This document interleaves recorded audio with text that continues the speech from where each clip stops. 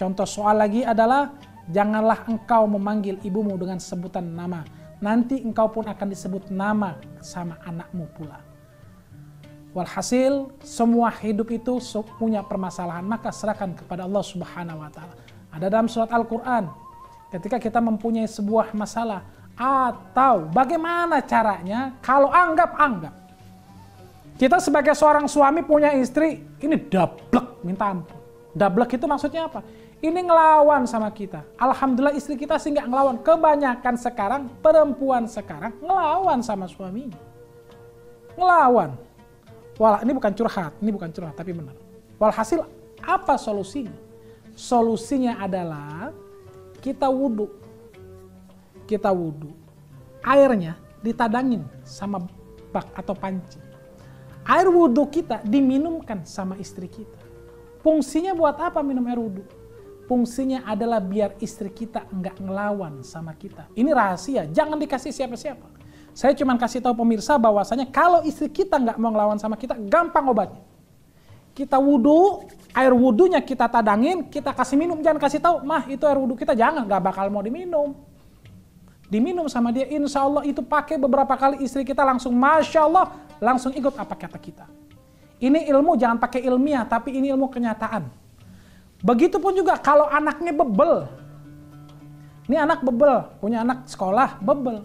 Air wudhu ibunya ditadangin. Ditadangin wudhu, ibunya setelah wudhu diminumin sama anak. Insya Allah anak itu akan pintar. Tapi jangan dilakukan sama sama si istri, air wudhu yang tadangin suami suruh minum, ntar suaminya dibawa istri. Itu jangan dilakukan.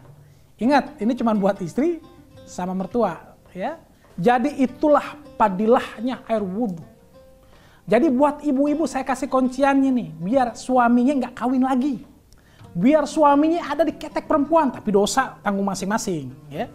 Jadi ketika ibu setelah wudhu, ya, si istri telah wudhu, tadangin air wudhunya. Bacain surat Bismillahirrahmanirrahim, Inna anzalnahu fi lailatul qadr 36 kali. Ya Allah biar suami saya itu tidak ke mana-mana.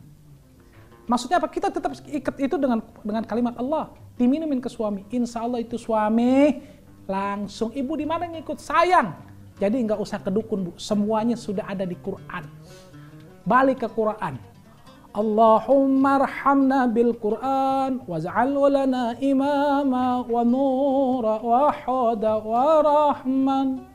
Allahumma jakirna min huma nasina wa 'allimna min huma zahilna. وارزقنا تلاوته آناء الليل وأطراف النهار واجعله لنا حجة يا رب العالمين kita gali semua Quran karena di dalam Quran setiap permasalahan akan terselesaikan jadi kalau suami ibu udah kelihatan mau kira-kira poligami, bacain itu surat. Ya Allah saya yakin dengan membaca surat Inna anzalnahu fi lailatul qadr, suami saya nggak nikah lagi. Walaupun itu sunnah. Kalau saya, ya ibu doain biar bisa. Tapi mertua nggak marah kan gitu. Jadi galilah Al-Quran. Insya Allah setiap permasalahan ada kuncinya, ada jawabannya di Al-Quranul Karim. Jadi ketika ibu kira-kira suaminya udah habis reunian ketemu mantan itu bahaya bu. Jangan pernah biarkan suami ibu itu reunian akan terjadi perselingkuhan. Itu banyak faktanya. Kalau saya bilang suami ibu reunian jangan dikasih kecuali saya. Kalau kalau bapak punya istri reunian jangan dikasih kecuali bapak. Kan gitu. Walhasil kalau kejadian reunian ibu bacain tuh habis sholat Bismillahirrahmanirrahim inna fi lailatul qadr wa madaraka ma lailatul qadr terus Habis dibaca ibu bilang, ya Allah dengan berkahnya surat Inna Anzalna, suami saya jangan nikah lagi minumin. Walaupun itu sunnah. Nikah lagi sunnah bu. Saya juga mau sebenarnya, cuma takut sama mertua. Eh, Alhamdulillah dan jangan lupa sebelum kita masuk sholat subuh kita baca surat Alam Nasrah Laka Sadrak sebanyak tujuh kali dan Alam Tara Kaifa Fa'ala Rabbuka Biashabil Fil sebanyak tujuh kali. Saya dapat ini amalan dari saya punya kiai yaitu Romo Yai Anwar Lirboyo Siapa yang membaca ini, Allah Subhanahu wa taala jauhkan dari semua penyakit. Allah Subhanahu wa taala lancarkan kita punya rizki, dijauhkan dari segala macam bala. Baca amalan ini karena apa? Yang kita baca dapatnya nasnya langsung dari Yai Anwar, terus nyambung ke Rasulullah Sallallahu Alaihi Wasallam. Pesan saya bergurulah kepada guru yang memang nasnya langsung nanti ke Rasulullah Sallallahu Alaihi Wasallam. Boleh kita baca Google, sangat boleh. Tapi ingat, ketika bicara agama, kau mesti punya guru. Karena nanti di yaumil akhir, kita ini ikutnya guru. Kenapa saya bilang nanti tuh rombongannya ikut guru? Siapa bendera kita? Bendera kita Rasulullah Sallallahu Alaihi Wasallam. Bagaimana kita mengenali Rasulullah Sallallahu Alaihi Wasallam? Dari kita punya guru, karena guru kita berguru, berguru, berguru sampai Rasulullah Sallallahu Alaihi Wasallam. Jadi jangan lupa banyak berselawat, membanyak membaca Al-Quran. Itu aja, mari kita tutup dengan doa. Doa ini insya Allah menjadi keberkahan kita semua. Kita baca surat yang memang paling cakep dan paling mujarab. Bismillahirrahmanirrahim. Allahumma salli ala Sayyidina Muhammad wa ala ali Sayyidina Muhammad. Bismillahirrahmanirrahim. Qul huwallahu ahad Allah samad.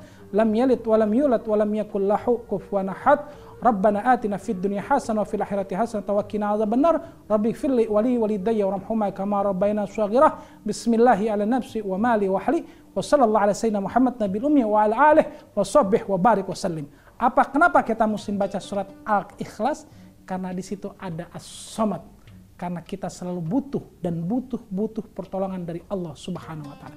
Ingat, kita hanya butuh Allah kita tidak butuh siapa pun. Ketika kita membutuhkan Allah, maka kebutuhan kita semuanya rapi. Dan kenapa tadi ditutup bismillahi ala nafsi wa mali wa ahli. Ya Allah saya titip atas diri saya, keluarga saya, dan harta saya. Begitu wabillahi taufiq wal hidayah. Wassalamualaikum warahmatullahi wabarakatuh.